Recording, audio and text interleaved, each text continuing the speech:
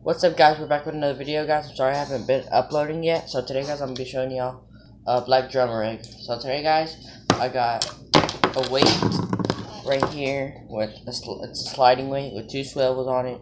You got one right there and one right there where the weight doesn't go.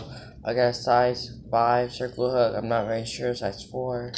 So yeah, with a 50 pound line right here. Straight 50 pound line. This is right here, I want to say 20.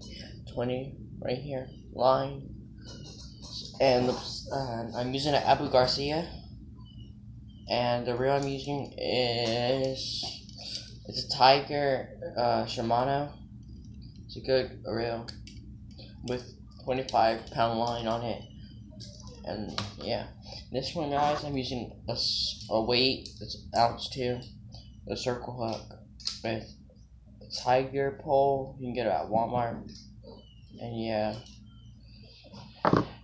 And two guys, um, I brought this out to um Sylvan Beach in La Porte. Uh, uh so rare. Uh, someone had a big black uh, black tip shark on one of these guys with a weight ounce two, about maybe about three uh, liters, a liter. So yeah.